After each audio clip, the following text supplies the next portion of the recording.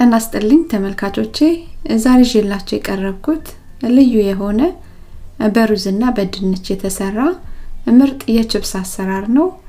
ለቻናል አዲስ ከሆናችሁ subscribe በማድረግ ቤተሰብ ሁኑ። አዳዲስ ቪዲዮዎችንም post ሳደርግ እንዲደርሳችሁ የደውሏን ምልክት አብራችሁ ተጫኗት። አመሰግናለሁ። ወደ አሰራሩ እንሄዳለን።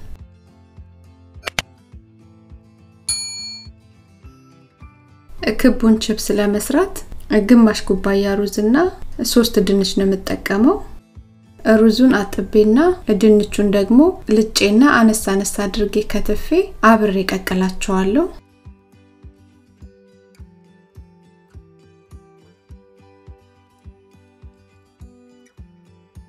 ሩዙንም ድንቹንም ሙቅቅ አድርጌ ነው ያበሰልኳቸው። ሩዙንና ድንቹን በድንች መዳመጫ እየዳመጥኩኝ እፈጫቸዋለሁ ወደ ሊጥነት እስኪቀየሩልኝ ድረስ። ሩዙና ድንቹ ተዋህደው ወደ ሊጥነት ተቀይረዋል። ሁለት የሾርባ ማንኪያ የኮርን ስታርች አስገባለሁ።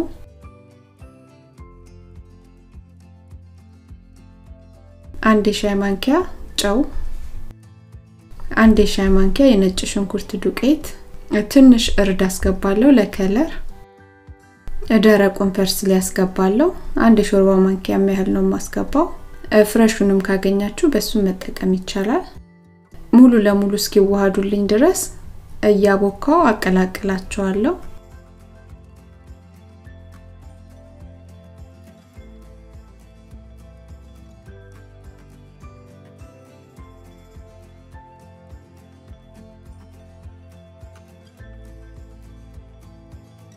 አንድ የሾርባ ማንኪያ ያህል ዘይት አስገባለሁ።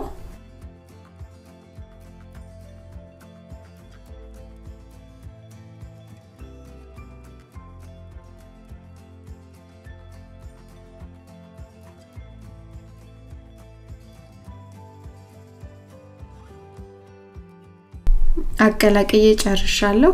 ለ30 ደቂቃ ሊጡን ፍሪጅ ውስጥ አስቀምጠዋለሁ ትንሽ ቀዝቀዝ እንዲልልኝ። ሊጡ ከ30 ደቂቃ በኋላ ይህን ይመስላል።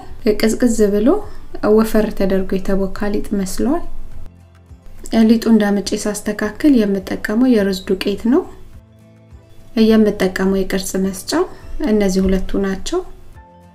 የቅርጽ መስጫውን ሁለት የተለያየ size ያላቸው ኩባያ ወይም ብርጭቆ በመጠቀም ቅርጽ መስጠት እንችላለን። ሊጡን ግማሹን ነው የምጠቀመው። የሩዙን ዱቄት በመጠቀም በጠረጴዛ ላይ አድርጌ እንዳምጬ ቅርጽ እየሰጠው አስተካክላቸዋለሁ።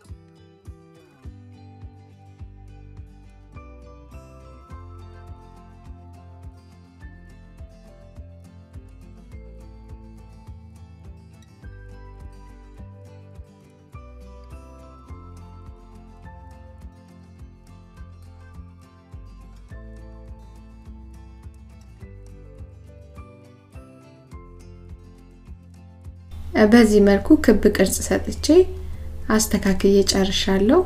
ወደ መጥበሱ ሄዳለሁ። በድስት ውስጥ የጋለ ሶስት ኩባያ ዘይት አለኝ። ክብ ቅርጽ የሰጠዋቸውን ሊጦች አንድ ባንድ እያስገባውና እየጠበስኩ አበስላቸዋለሁ።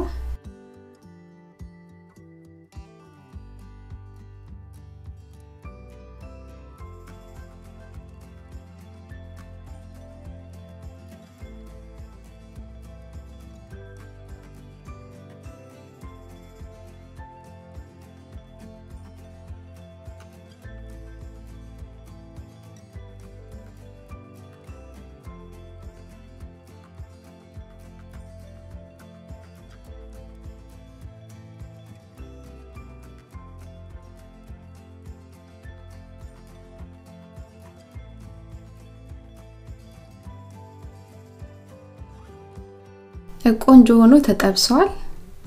ሰርታችሁ ሞክሩት፣ በጣም ነው የምትወዱት።